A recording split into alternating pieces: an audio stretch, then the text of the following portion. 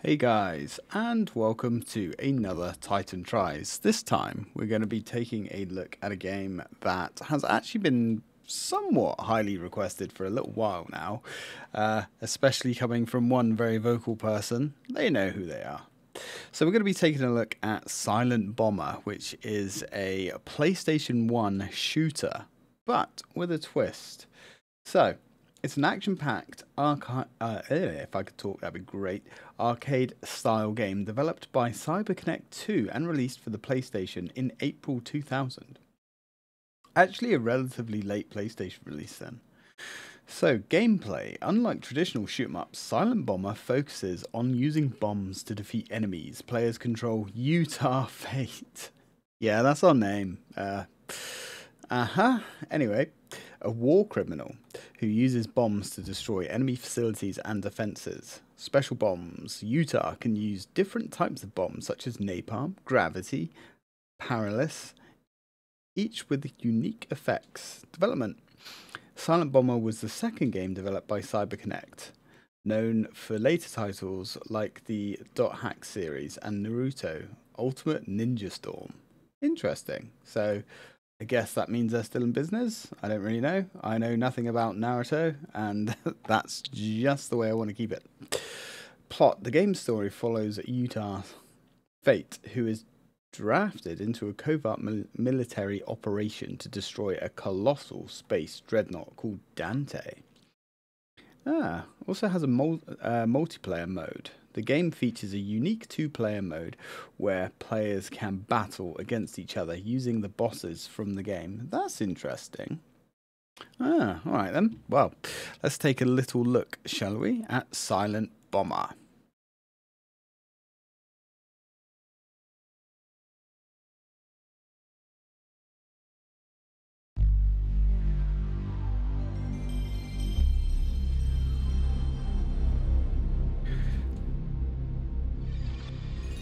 So I have had a quick look at the controls because they seem to be, well, a little bit, should we say aged, I suppose. Um, you know, the, these sort of games do have rather unique and archaic control methods, and this game doesn't appear to be any exception to that.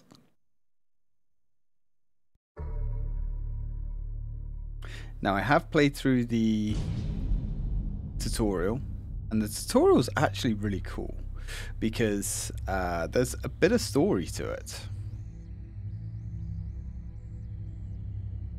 Quite a dark story as well, which we approve of. Ago, on a battlefield, I lost what I believed in.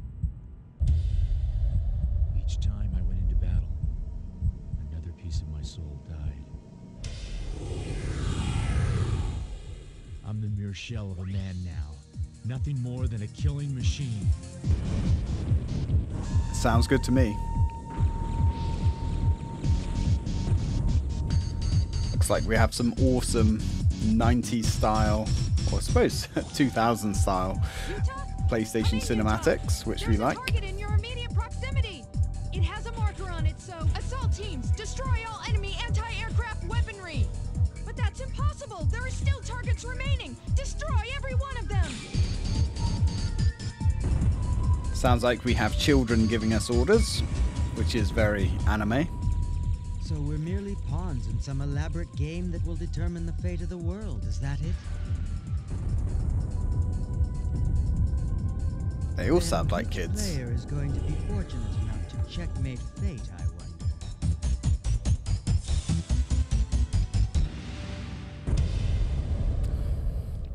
And there we have it, Silent Bomber. I mean, I'm not really sure how you can be a silent bomber. Seems to, you know, be counterintuitive, but what do I know? I like the music. Music is very good. Presentation is also very good, straight off the rip. Okay, so let's go for. Let's have a look at options. So I've checked out the button config before. Um, it's there isn't a lot of controls, as you can see, but the game is pretty hectic from what I what I've seen in the tutorial. So we've got M Liquid. That's our um, augmented bombs. Now, Ah, you know what? I'll, I'll just talk about it when we get into it. So we actually can place our bombs down, and then we have a separate button to make them explode, which uh, I didn't realize when I was trying to play the tutorial earlier. Uh, I was like, wait a minute, the buttons, they do nothing. But then I realized that I was being a silly fool. Anyway, let's go new game. And we are going to go for the tutorial, just because it's quite interesting. It's got a... Hmm. We, we find out how Utah became, well, Utah, I guess.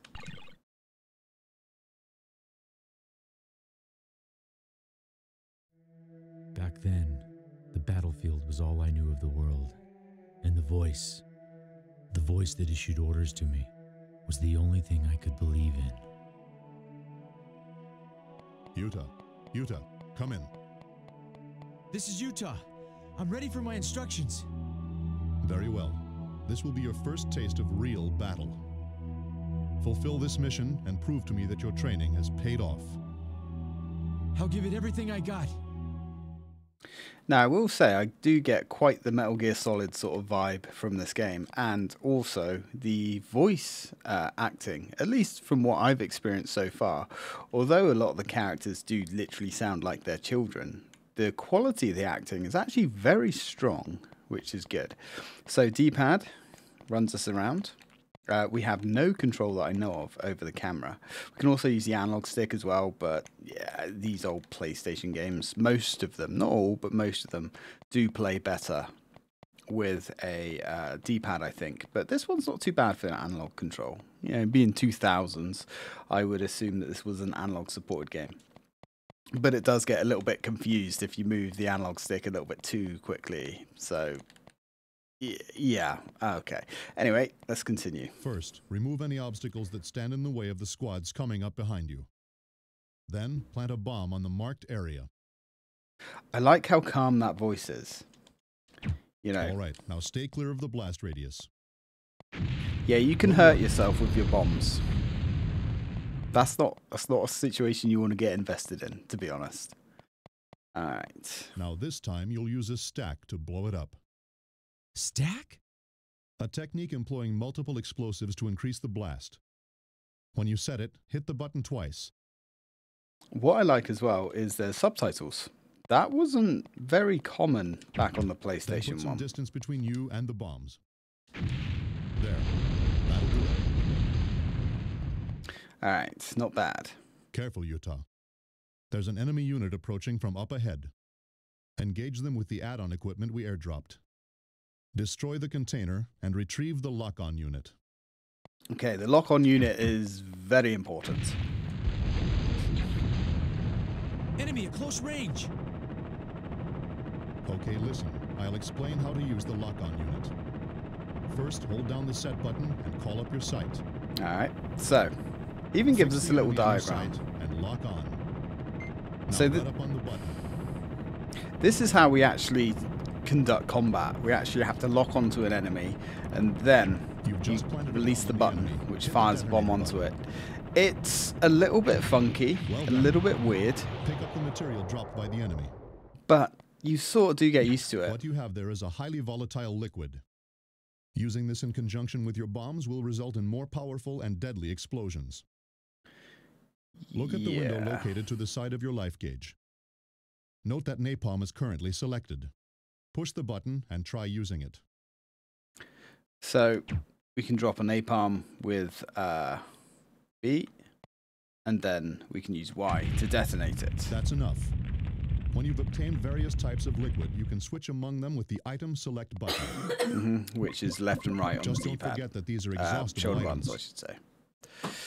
So, yeah. Um, although it's not B and Y, is it? It's triangle and circle, because we're on a PlayStation. So I don't really understand the napalm weapons because unlike when we use the uh, scope and we can attach bombs to enemies, it looks like that is only something we can do with the standard bombs.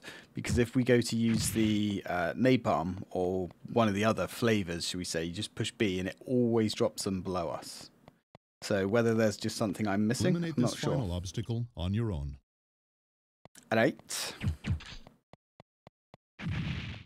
So we just need to blow this up.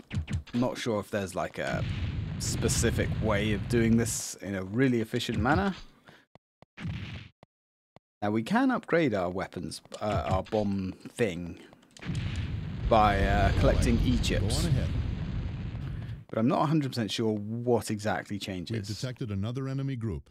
It's a large one this time. Oh no. If you quickly push the jump button twice, it will activate your burst drive. Yeah. Put it to good use and make your way through their attack. So we can fly around essentially, sort of. Uh, it's very janky and difficult to control, so uh, it's going to take some getting used to. Anyway, we've got some drones to deal with. These drones are decently reinforced.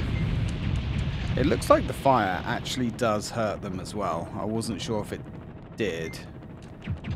Locking onto these enemies that fly around above us is somewhat challenging due to the nature of how the camera works. And there are certain sections like this where the camera's just shit and you can't control it. So it looks like we have a large hover tank. One thing I will say is the enemy designs for the vehicles are really good. I really like them. Certainly is a Metal Gear Solid sort of feeling to the whole thing. Oh, that's painful. So let's take this tank out anyway. Luckily, these hover tanks are a little bit useless, and somebody running around throwing bombs at things can easily outmaneuver one. I do like the hover jets on the, on the bottom of it. Eat a dick. What's this place? It's an enemy stronghold. Burn down the entire installation. Roger.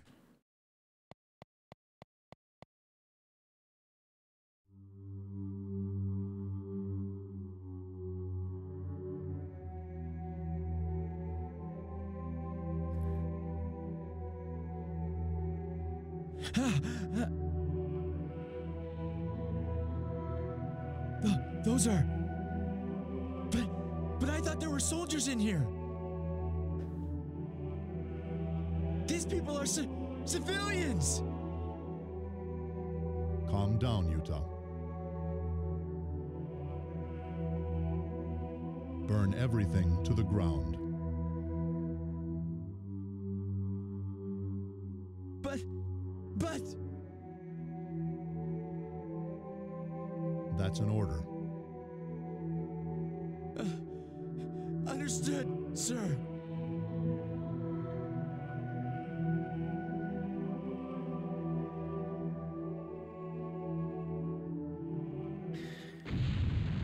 And that is why we are a war criminal.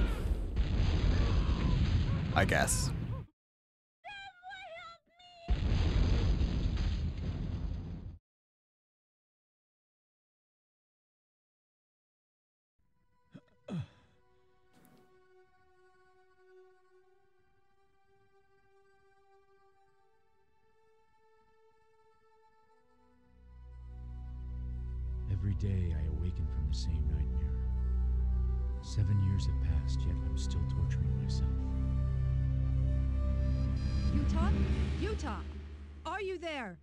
Did set the autopilot, right? Yeah, Then get down here to the lander. I try to forget the nightmare by continuing to fight, as I'm doing today. We'll be in Dante's security zone soon. Friend or foe is FOF. Our ship will transmit this code to get past their sensors, then six assault teams will infiltrate. Providing we can get that close, of course. Our codes are flawless. If we can really trust these codes, shouldn't they have sent in a crack military unit or something? Don't you think, Utah? My only duty is to destroy my designated target. I'm concerned with nothing else. Boy, you just can't wait to start blowing things up, huh? Get this straight. We're here to save Hornet. Safeguarding our planet is the objective. Excuse me. So we're merely pawns in some elaborate game that will determine the fate of the world, is that it? Then which player is going to be fortunate enough to checkmate fate, I wonder? We are entering Dante's security zone.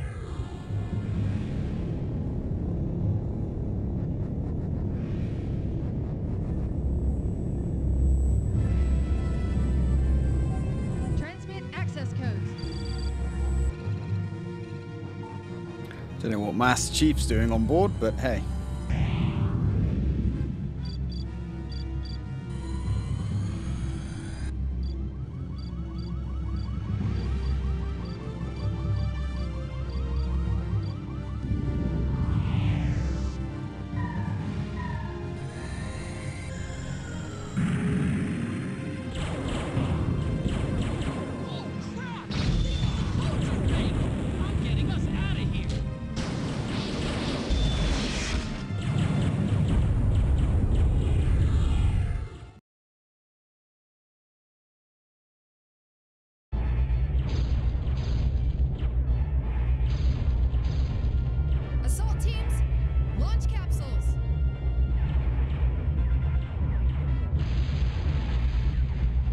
Not good. Attitude control. I'll try for a belly landing.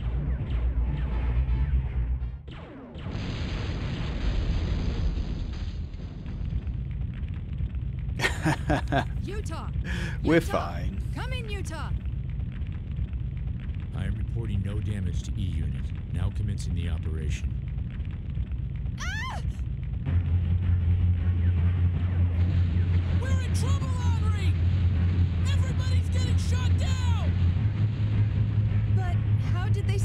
dummy codes? Don't waste time worrying about that. Give me instructions. That is what you're here for. Yes, I know. Assault teams, destroy all anti-aircraft weaponry. Acknowledged. Alright, so mission one the raid operation has failed. Every time an A cannon fires, another one of our landers is blown to pieces. If this keeps up, the assault team will be wiped out. Destroy all anti aircraft batteries. Now, I will say, the tone of this game is really dark and I like it. I like it a lot. I like the characters, I like the voice acting, even the, the soundtrack is pretty solid. Visually, I know it's a late PlayStation 1 game, but it looks good as well.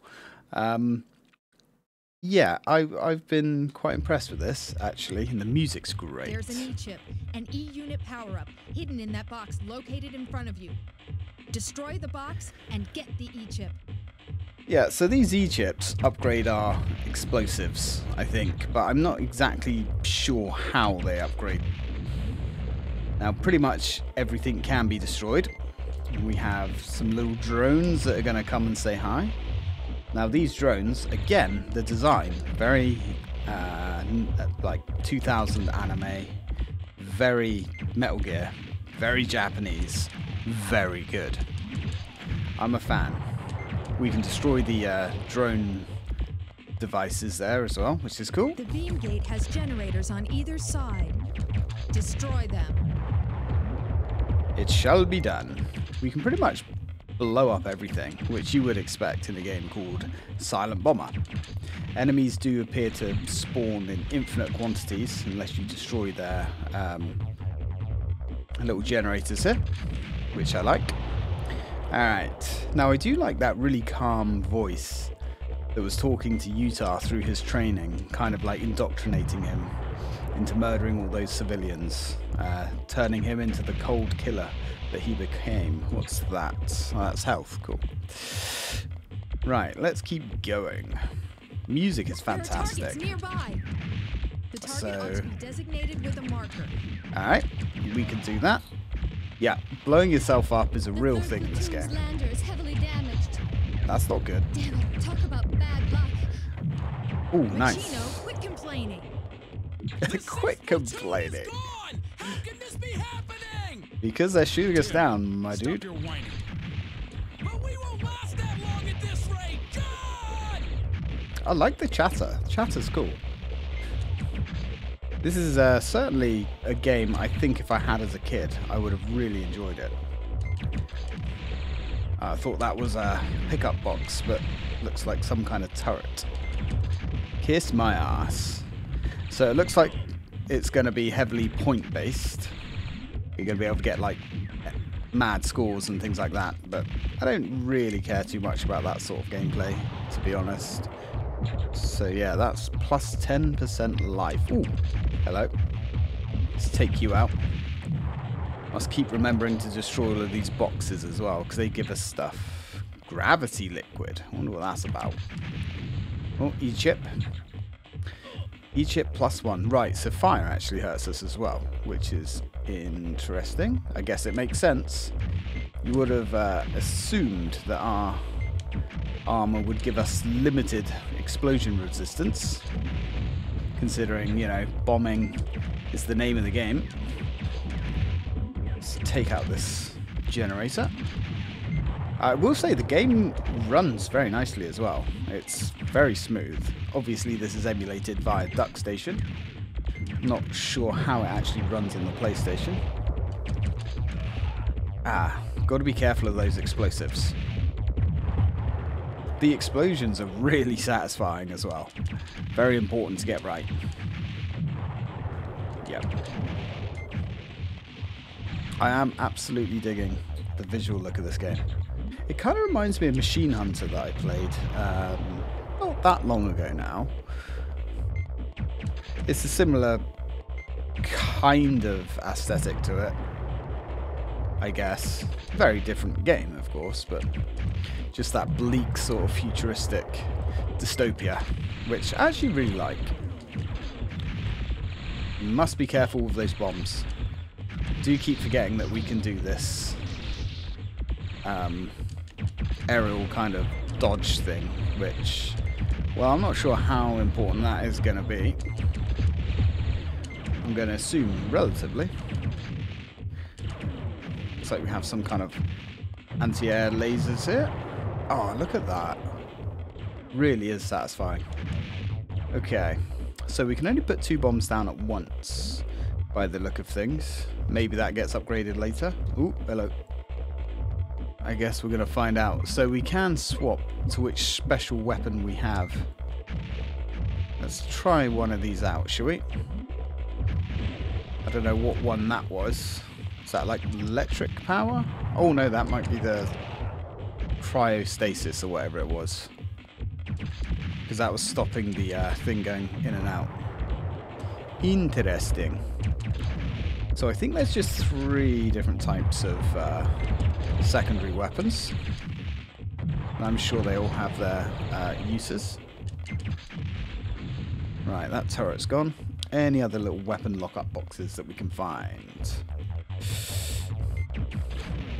So we've got 7 out of 11 targets. Ah, oh, there's more. I will say these uh, uh, weapon defenses are comically useless, which is pretty good, because otherwise we'd be in trouble. Ooh, more storage boxes. Ooh, ooh, plus 50 health. Okay. E-chip. Oh, look. Look at our bomb display up on the top right there. Looks like all the We now have three. This area is out of commission. So does that make the them more powerful? A marker is the next place you should go. I don't know if that makes our weapons more powerful, or does it just allow us to have more of them? I'm not sure. Alright, let's go. Ooh, we have a boss. Oh, that thing looks badass. Like spider tank. I like it. Those are multi-legged anti-aircraft weapons. Oh, that's oddly specific. I'll eliminate the targets. Get clear. She said those. Does that mean there are multiple? Looks like we can lock onto different parts of this as well, which is kind of interesting. Let's get one of our... Oh yeah, so there we go. That paralyzes it. Good to know. Ooh, what's it doing now? It's got a shield. Okay, noted. And it's got that... Ooh, okay, so it's going to ram us. Noted. So when it pops up that shield, I'm guessing it's invincible. Yep. looks like it. We might still be able to bomb it though. Uh-oh. Not today, Satan. Uh-oh, maybe today then. There we go.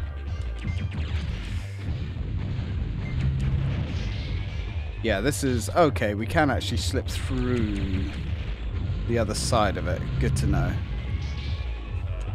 Looked like it was a little bit too close to the wall there. Uh oh We do appear to have a decent amount of life, to be fair. Let's try another one of our explosives. Yeah, doesn't appear to hurt it when it's got the shield up. What I would have liked to have seen is some kind of dodge ability without having to use the jump. Because that is a little bit obnoxious. But I'm sure it's something that you'll get used to. Maybe. You just have to be pretty switched on.